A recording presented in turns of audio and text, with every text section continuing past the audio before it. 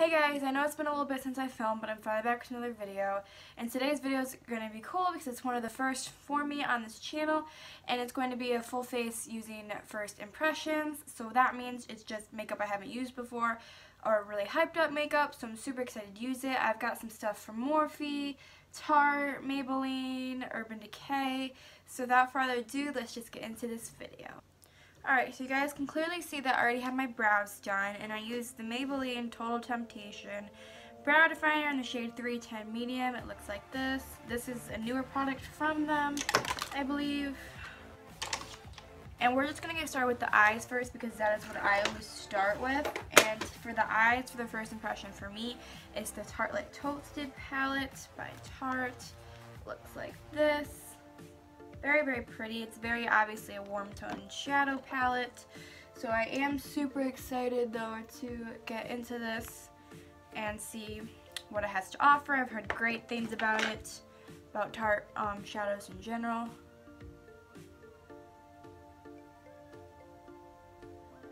And I just use Shape Tape to prime my eyes. And I'm going to take a tapered blending brush and the shade S'more, which is right here, and put that all over my lid and in my crease.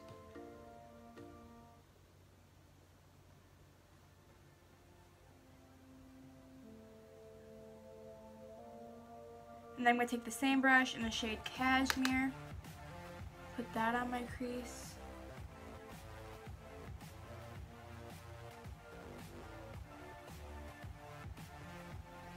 You get a lot of kick up from the shadows. This palette at least, I'm noticing. like a lot. You can see it right there. Right there. It's very pretty and it blends nice though. But you get a lot of kick up from them. So that's definitely something to watch.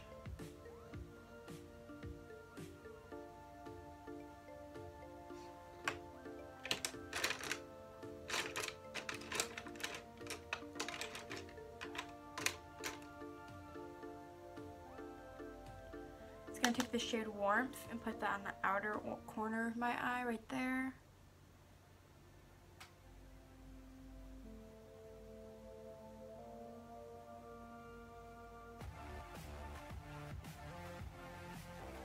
It looks really pretty, I feel like. Um, you do definitely have to tap your brush off. Like a lot because you're going to get too much color otherwise. But I think that it looks really nice and really pretty.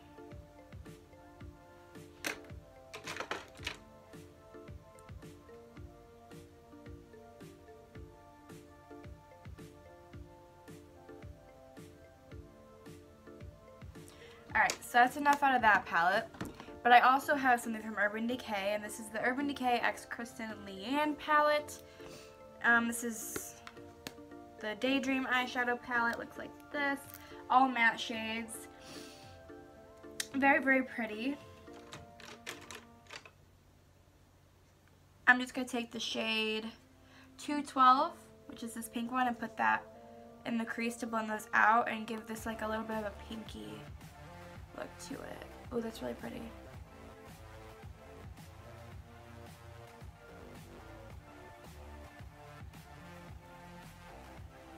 It's really pretty.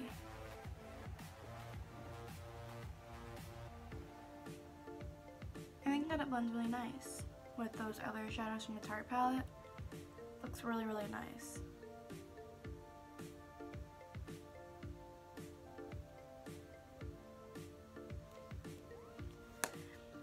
Anyways, now I'm going to go back into that same Tarte palette and take like a shimmer shade all over the lid. And for this, I'm just going to use my finger and the shade Sunset and put that all over my eyelid.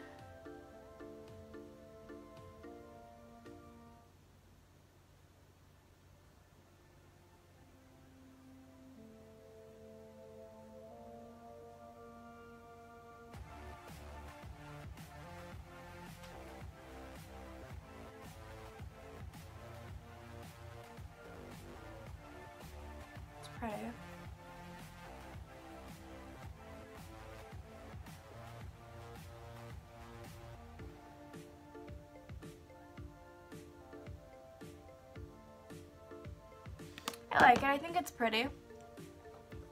But um, I do have a new eyeliner that I haven't used before, and this is by Ciate uh, London, their Fierce Flicks eyeliner, and this is just black.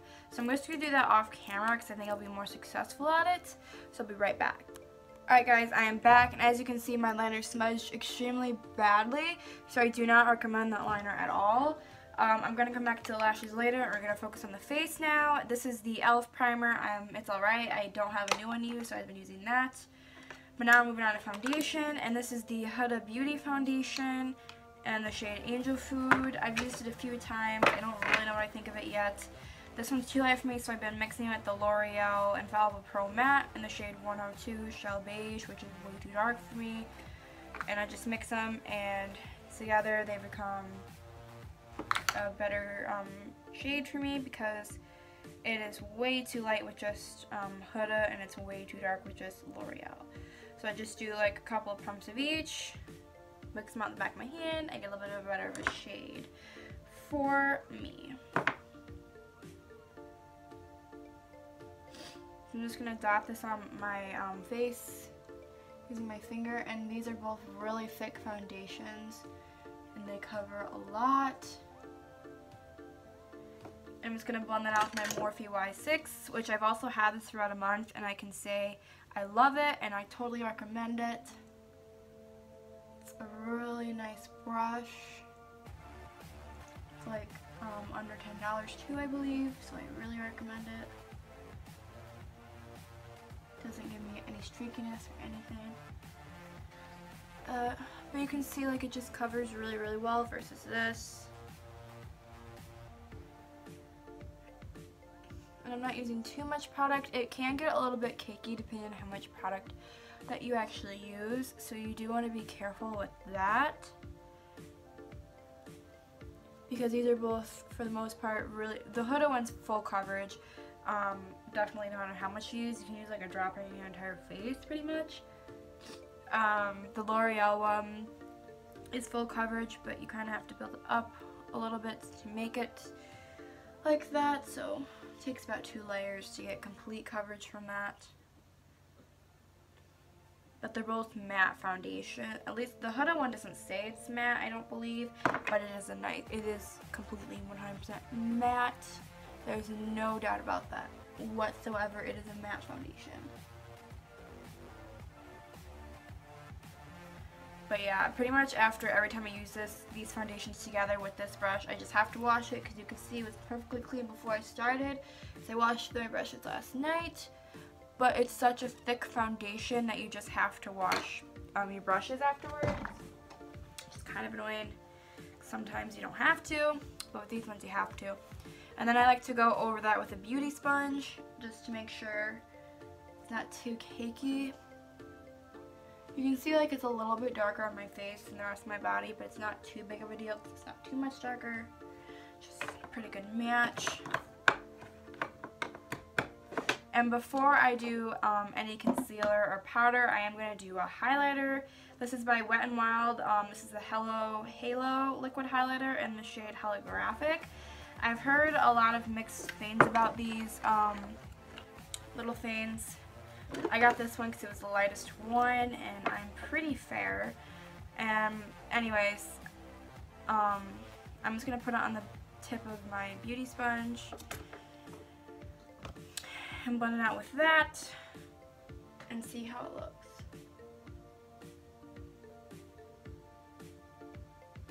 It's very purpley, iridescent-y. It's pretty. It's not my favorite thing, I don't think. Um, I don't know if I'll be reaching for it necessarily like on a day-to-day -day basis when you just want a regular highlighter. I don't know if this is that something you would want for that. I probably 100% should have used this before my foundation also in case it breaks apart. So I'm going to hope that it doesn't.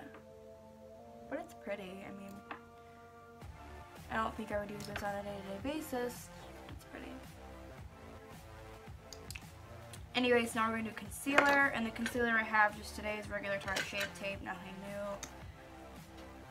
For my routine personally. just has been using this my concealer and my beauty blender.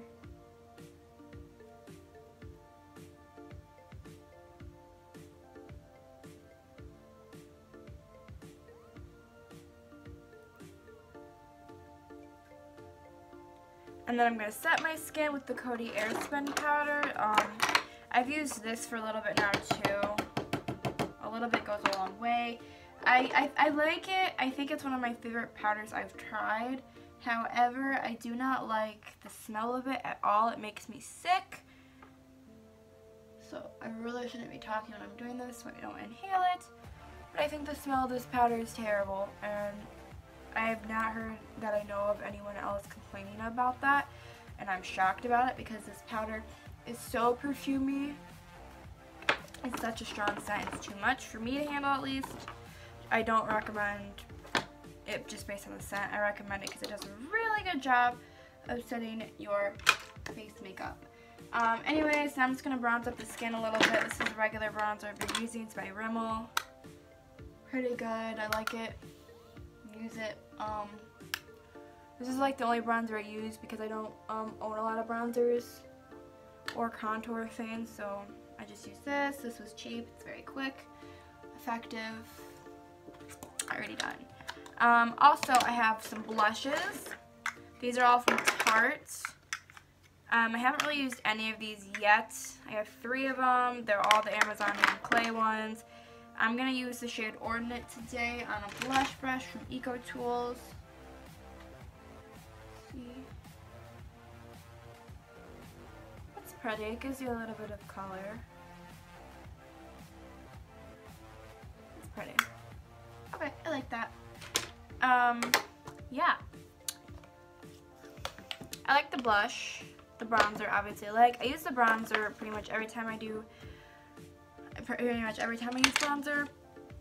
But now we have highlighter to get to, and this is um, something I've used for a little bit now. This is the Anastasia Beverly Hills Glow Kit, and this is the Sugar Glow Kit. It's very, very pretty. I'm going to use the shade Butterscotch. Um, these come off lighter than you would think. Like that looks dark, but it comes off lighter on the skin than you would think. See? It's very, very pretty. And this is a Morphe um, R36 brush, sorry.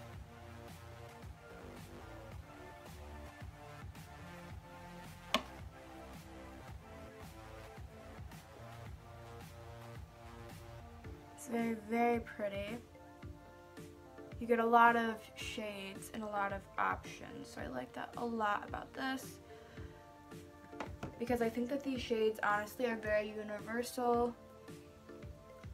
They're very pretty. Totally recommend it. It's worth the money 110%. Anyways, now we have one of the last things on our list before lips, and that is mascara. This is the Maybelline Pumped Up Colossal Volume Express Mascara. I just needed a new one, so I randomly picked this up from the drugstore. Haven't really used it that much. Um, but when I do, I like it a lot.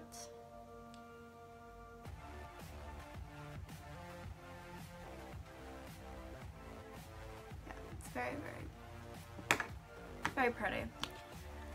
And now I'm going to put on lashes off camera just because they're going to take forever. But these are the Ardell Wispy Lashes. I've been using these actually a lot now. I really, really like them 100%. I definitely recommend. They were on sale for less than $2 at Meijer uh, a couple of weeks ago when I got them. So I just had to get them. I used the dual black lash glue and just some tweezers to get them so this isn't really a first impressions because I've been using this gloss for a while, but this is the Fenty Beauty Gloss Bomb Gloss. I don't wear lipstick, especially liquid lipstick, you guys know that. Because of my surgery, it's just uncomfortable. So glosses and chapsticks I like a lot, and this one is one of the most beautiful glosses I've ever seen. And it's really stunning. Um, but that's it for this video. I hope you guys enjoyed it. Um, I also put my lashes on and forgot to do lower lash line mascara, so I'm going to do that really quick. But that is just the end of the video. I don't have anything else to test out for you guys. hopefully you guys enjoyed it. I did because I love testing out new products.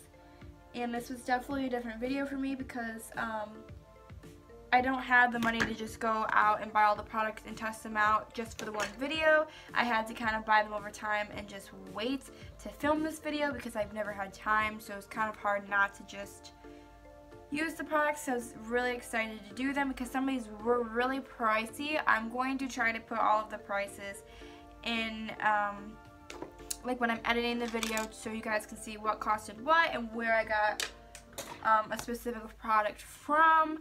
So I hope you guys enjoyed it. Um, I did a little bit different with the camera, so maybe you guys were able to see a little bit better than you used to be able to when you watched um, my videos, and the lighting was a little bit better, I hope. That's all I really have for you guys, and I hope you guys enjoyed this video. And be sure to like, comment, subscribe, and let me know if you guys want me to do more videos like this in the future, because I would love to. Um, just maybe not one as expensive as this one. But thank you so much for watching, and I will see you guys in the next.